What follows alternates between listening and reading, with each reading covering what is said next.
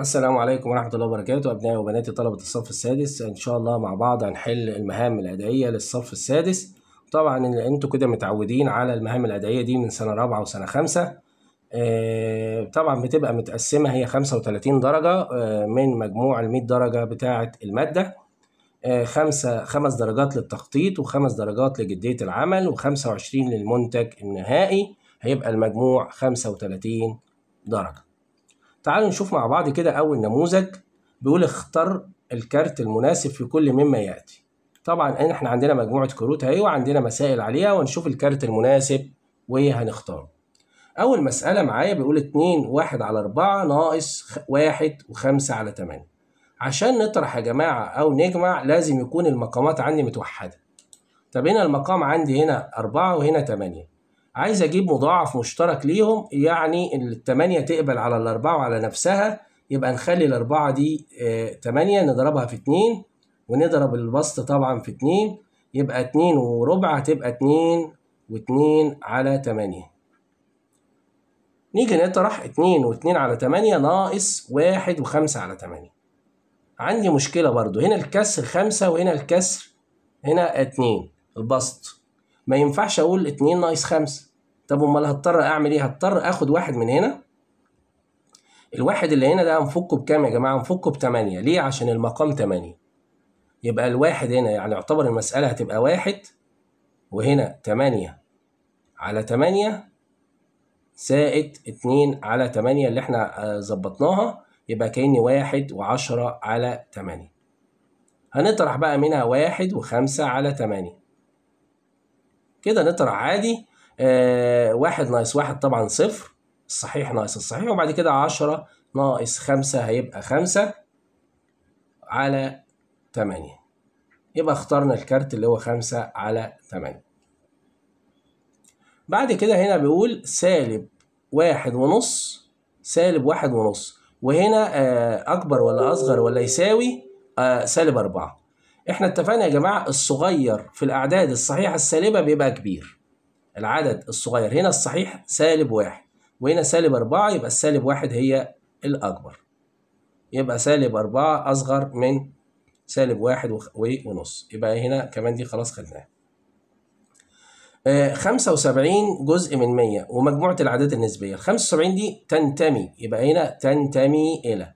كلمة تنتمي إلى يعني موجودة تبع مجموعة الأعداد النسبية. القيمة المطلقة لسالب 4 إحنا قلنا القيمة المطلقة دايما موجب. يبقى القيمة المطلقة لسالب 4 هتطلع بأربعة. يبقى هنا خدنا برضو الأربعة وكنا خدنا تنتمي في المعادلة في المعادلة y بتساوي 3 x إذا كانت x بأربعة يعني إحنا لو حطينا هنا x بأربعة يعني كأن 3 في 4 3 في 4 بكام؟ هتبقى ب 12 يبقى y بتساوي 12 يبقى كده خدنا ال 12 تعالوا نشوف السؤال اللي بعد كده.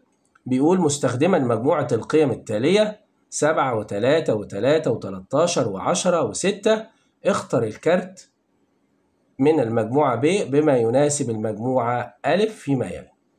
الوسط الحسابي. الوسط الحسابي يا جماعة بيبقى مجموعة الأعداد مجموعة القيم على عددها. يعني إحنا هنجمع كل الأعداد دي. ستة زائد عشرة ستاشر. ستاشر وتلاتاشر يبقى تسعة وعشرين. تسعة وعشرين. زائد تلاتة يبقى اتنين وتلاتين. زائد تلاتة يبقى خمسة وتلاتين. زائد سبعة يبقى اتنين وأربعين. القيم على عددهم كام؟ واحد اتنين تلاتة أربعة خمسة ستة يبقى اتنين وأربعين. على الستة هيدينا سبعة. يبقى الوسط الحسابي هنا كام؟ بيساوي سبعة. يبقى الوسط الحسابي مجموع القيم على عددها. المنوال يعني القيمة الأكثر شيوعا. القيمة الأكثر شيوعا أكتر رقم اتكرر. بص كده هنلاقي مين أكتر رقم اتكرر؟ الستة ما اتكررتش العشرة ما اتكررتش التلاتاشر ما اتكررتش التلاتة متكررة مرتين والسبعة متكررة مرة واحدة موجودة مرة. يبقى اللي مين اللي متكرر؟ التلاتة متكررة مرتين. يبقى المنوال هو التلاتة. المدى المدى ده اللي هو أكبر قيمة ناقص أقل قيمة. أكبر قيمة مين يا جماعة؟ 13 وأصغر قيمة هي التلاتة يبقى هنقول 13 ناقص تلاتة يعني المدى هنا بيساوي 10 ده كان النموذج الأولاني. تعالوا نشوف مع بعض النموذج التاني. نموذج رقم اتنين بيقول باستخدام شكل فين التالي أوجد العامل المشترك الأكبر. ع م أ بين العددين الناتجين من عمليتي خارج القسم. هنا عندي 264 على ال 22 لما نيجي نقسم يا جماعة إحنا هنعملها اسم مطولة أهو. 264 على ال 22 هنبدأ نقسم 2 على ال 22 مش هينفع يبقى ناخد الستة يبقى 26 طبعا فيها الواحد واحد في 22 ب 22 ونطرح 6 ناقص 2 يبقى 4 و2 ناقص 2 صفر في الشمال مش لازم يتكتب. ننزل الأربعة 44 على 2 هتدينا 2 ونرجع نضرب 2 في 22 ب 44 يبقى الناتج صفر يبقى هنا عندي الناتج طلع 12 برضه هنعمل نفس المسألة دي 270 على ال 15 هنقول 2 على ال 15 مش هينفع. هناخد السبعة 27 على ال 15 فيها الواحد. واحد في 15 ب 15 ونطرح. سبعة ناقص خمسة يبقى اتنين واتنين ناقص واحد يبقى واحد. ننزل الصفر وهندور على المية وعشرين مية وعشرين على الخمستاشر هتطلع فيها التمانية يبقى تمانية في خمستاشر تمانية في خمسة بأربعين صفر ومعايا الأربعة تمانية في واحد بتمانية وأربعة يبقى اتناشر. يبقى كده المسألة عندي صفرت. يبقى الناتج عندي هنا تمنتاشر. هو عايز العوامل الأولية للعدد. هو هنا عايز يحلل الأعداد دي للعوامل الأولية. ال 12 هنمسك ال 12 نحللها للأعداد الأولية أو العوامل الأولية وال 18 نفس الكلام. 12 على الاتنين فيها الستة ستة على الاتنين فيها التلاتة تلاتة على التلاتة فيها الواحد يبقى ال 12 هنا العوامل الأولية بتاعتها اتنين واتنين وتلاتة. 18 برضو على الاتنين يدينا تسعة تسعة على الاتنين مش هتنفع ناخد التلاتة تسعة على التلاتة فيها التلاتة تلاتة على التلاتة فيها الواحد. يبقى التمنتاشر اتنين وتلاتة وتلاتة. عايز بقى هنا العدد اتناشر هنكتب هنا العدد اتناشر ونكتب هنا العدد تمنتاشر. اللي مشترك يا جماعة نكتبه في النص. أنا عندي هنا الاتنين موجودة هنا وهنا إيه يبقى نكتب الاتنين مرة واحدة في النص. التلاتة برضو متكررة هنا وهنا. يبقى نكتب التلاتة هنا. خدنا من ال 12 ال 2 وال 3 مين اللي باقي؟ باقي ال 2 نكتبها بره. خدنا من هنا ال 2 وال 3 باقي ال 3 نكتبها بره. عايز عين ميم ألف. عين ميم ألف يعني المنطقة اللي في النص دي. نضربهم في بعض. 2 في 3 بكام؟ ب 6 يبقى ده العامل المشترك الأكبر. السؤال اللي بعد كده بيقول الشكل البياني التالي يوضح عدد ساعات المذاكرة لعدد من التلاميذ. أجب عما يأتي. مع عدد التلاميذ الذين ذاكروا من ستة إلى سبع ساعات. تعالوا نبص كده على الرسمة. أدي من ستة لسبعة. دي الفترة دي. كام واحد؟ واحد. يبقى عدد التلاميذ الذين ذكروا هي قصاد الواحد. يبقى نكتب هنا واحد. مع عدد التلاميذ الذين ذكروا أربع ساعات فأكتر. فين الأربع ساعات؟ بص كده الأربعة يعني نبدأ من هنا. لحد الآخر. أربع ساعات فأكتر. طب هنا كانوا كام؟ هنا كانوا أربع تلاميذ. وهنا واحد يبقى يبقى هنا كانوا أربعة العمود ده بأربعة. وهنا واحد يبقى خمسة خمسة زائد ستة دول ستة خمسة وستة كام؟ يبقى 11 تلميذ. ما عدا التلاميذ الذين تمثلهم البيانات البيانات دي بتمثل كام تلميذ؟ تعالوا نجمع كل الأعمدة. أدي خمسة خمسة وهنا اتنين يبقى سبعة سبعة وأربعة يبقى 11 وأدي واحد يبقى 12 12 وستة يبقى 18 تلميذ. تعالوا نشوف النموذج الثالث مع بعض. نموذج رقم 3 بيقول ضع الأعداد التالية في مكانها المناسب في مخطط فين ثم أكمل. تعال نمسك عدد عدد. السالب 13 يا جماعة ده عدد صحيح. الأعداد الصحيحة فيها فيها موجب وفيها سالب وفيها صفر. يبقى ده بينتمي لمجموعة الأعداد الصحيحة يبقى هنكتبه هنا سالب 13 77 ده عدد من أعداد العد. عشان ده عدد موجب أعداد العد يبقى السبعة وسبعين هنكتبه في أعداد العد. تمانية وخمسة من مية ده عدد نسبي يبقى نكتبه في مجموعة الأعداد النسبية تمانية وخمسة من مية.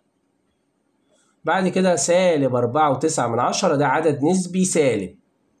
عدد نسبي سالب يبقى برضه هيتكتب في مجموعة الأعداد النسبية سالب أربعة وتسعة من عشرة. الصفر ده عدد طبيعي نحطه في الأعداد الطبيعية. الواحد ده عدد في مجموعة أعداد العد يبقى نحطه في أعداد العد. سالب 200 ده عدد صحيح يبقى نحط سالب 200 في الأعداد الصحيحة. بعد كده 7 على 9 ده عدد نسبي يبقى نكتبه في الأعداد النسبية. 7 على 9 التلاتة ده عدد في مجموعة أعداد العد. بكده نكون خلصنا كل الأعداد حطينا كل عدد في المكان المناسب أو في المجموعة المناسبة ليه. السؤال الأول بيقول مجموعة الأعداد الصحيحة نقط من مجموعة الأعداد النسبية. مجموعة الأعداد الصحيحة يا جماعة دي مجموعة. طالما مجموعة تبقى جزئية مجموعة الأعداد الصحيحة موجودة كلها لو بصينا كده مجموعة الأعداد الصحيحة كلها إيه؟ جوه الأعداد النسبية يبقى جزئية. يبقى نقول جزئية من. العدد ثلاثة نقط إلى مجموعة الأعداد الطبيعية. العدد ثلاثة ينتمي يبقى نكتب هنا ينتمي موجود. ينتمي إلى مجموعة الأعداد الطبيعية. الأعداد التي تمثل حلول المتباينة x أكبر من أو تساوي واحد من الأعداد السابقة. مين من الأعداد اللي, موجودة في المسألة عندنا تنفع حل للمتباينة دي؟ مين اللي أكبر من أو يساوي واحد؟ طبعا هناخد الواحد عشان في علامة يساوي يبقى ناخد الواحد. مين تاني؟ عندنا التلاتة وعندنا السبعة وسبعين. دول الأعداد اللي أكبر من أو يساوي واحد بيقول في مجموعة الأعداد الصحيحة. في مجموعة الأعداد الصحيحة. طبعا مجموعة الأعداد الصحيحة إحنا عندنا مين؟ ما هم دلوقتي سواء في العد أو الأعداد الصحيحة هم دول اللي موجب لأن إحنا عايزين أعداد صحيحة موجبة. أعداد صحيحة موجبة. يبقى الأعداد هم إيه؟ الواحد والتلاتة والسبعة وسبعين. السؤال الثاني بيقول مستخدما مجموعة القيم التالية واحد وأربعتاشر وحداشر وتمنتاشر وحداشر وخمسة اختر الكارت من المجموعة ب بما يناسب المجموعة أ الوسط الحسابي الوسط الحسابي هو مجموع القيم على عددها. مجموع القيم على عددها. طيب مجموع القيم كام؟ مجموع القيم تعالى نجمع واحد وأربعتاشر طبعا هنا على واحد وأربعتاشر خمستاشر خمستاشر زائد حداشر يبقى ستة وعشرين ستة وعشرين وتمنتاشر هيبقى أربعة وخمسين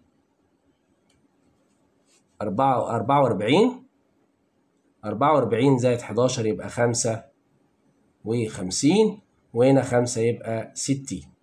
يبقى طيب هما كام عدد؟ واحد اتنين تلاتة أربعة خمسة ستة. ستين على الستة هيساوي عشرة. يبقى الوسط الحسابي هنا هيساوي عشرة. طيب المنوال المنوال هو القيمة الأكثر شيوعا يعني اللي اتكررت كتير. مين اللي اتكررت هنا؟ لو بصينا هنلاقي ال 11 متكررة هنا مرة وهنا مرة يبقى ال 11 هو المنوال. المدى بيبقى أكبر قيمة ناقص أصغر قيمة. مين أكبر قيمة يا جماعة؟ 18 ناقص أصغر قيمة اللي هي الواحد. 18 ناقص واحد يبقى 17 ده إيه إجابة السؤال التاني. تعالوا نشوف النموذج اللي بعد كده. نموذج أربعة بيقول أكمل الفراغات التالية في الجدول. هنا جايب لي معادلة. هو عايزها بالتعبير اللفظي وعايز الحل وعايز المتغير التابع وعايز المتغير المستقل. تعالوا نشوف مع بعض كده المعادلة الأولانية بيقول y بتساوي 2 x زائد 3 فهنا آه الضرب التعبير اللفظي هنقول الضرب في 2 ثم جمع 3 ضرب في 2 ثم جمع 3 الحل عندما x بتساوي 2 لو ال x هنا ب 2 المسألة أو المعادلة هتساوي كام؟ يبقى نقول 2 في 2 ب 4 4 زائد 3 هيساوي 7 يبقى y بتساوي 7 مين المتغير التابع يا جماعة؟ التابع هو ال y والمستقل طبعا هو ال x في المعادلة اللي هنا دي هنقول إيه بقى؟ نص نصف العدد x مطروح منه اتنين. نصف العدد x مطروحا منه اتنين اللي هو نص x ناقص اتنين. طب بيقول لي عندما x بتساوي تمانية لو ال x دي بتمانية يبقى نقول نص في تمانية هتطلع بأربعة. أربعة ناقص اتنين هتدينا اتنين. المتغير التابع طبعا y والمتغير المستقل هو الاكس السؤال الثاني بيقول صل كل كارت بما يناسبه. العامل المشترك الأكبر للعددين 18 و 36 عشان أجيب العامل المشترك يا جماعة نحلل ال 18 لعواملها الأولية ونحلل ال 36 لعواملها الأولية. 18 على الاتنين فيها التسعة تسعة ما تقبلش على الاتنين على التلاتة فيها التلاتة تلاتة على التلاتة فيها الواحد يبقى ال 18 بتساوي 18 بتساوي اتنين في تلاتة في تلاتة. طيب تعالوا نشوف بقى الستة وتلاتين. ستة وتلاتين على اتنين فيها التمنتاشر. تمنتاشر على الاتنين فيها التسعة. تسعة على التلاتة فيها التلاتة تلاتة على التلاتة فيها الواحد. تعالوا نكتب الستة وتلاتين كده بتساوي اتنين. مفيش اتنين تاني خليها بعيد. في تلاتة في تلاتة. يبقى اتنين في تلاتة في تلاتة في اتنين. تعالوا نجيب عين ميم ألف. هناخد المشترك بس. المشترك هنا اتنين يبقى ناخد الاتنين. هنا في تلاتة ناخد التلاتة. هنا في تلاتة وتلاتة ناخد التلاتة. مفيش حاجة فوق الاتنين دي يبقى نسيبها. اتنين في تلاتة بستة ستة في تلاتة بتمنتاشر يبقى عين ميم ألف هنا يساوي تمنتاشر. المسألة اللي بعد كده بيقول 1386 على 21 دي مسألة اسم مطولة. 1386 على 21 إحنا هنا بنبدأ من الشمال في الاسم واحد على 21 ما ينفعش. 13 على 21 ما ينفعش. 138 على ال 21 هنشوف ال 138 فيها كام؟ 21 نجيب جدول 21 مع بعض ونشوف ال 138 دي هتكون فيها الكام. واحد في واحد وعشرين طبعا بواحد وعشرين. كل ما أروح أزود واحد وعشرين أدي اتنين وأربعين تلاتة وستين أربعة وتمانين. هنا آه خمسة. وهنا آه مية وخمسة هنا ستة وهنا اتناشر مية ستة وعشرين هنا سبعة وهنا سبعة في اتنين بأربعتاشر يبقى مية سبعة وأربعين. يبقى هناخد الستة اللي هي فيها مية ستة وعشرين.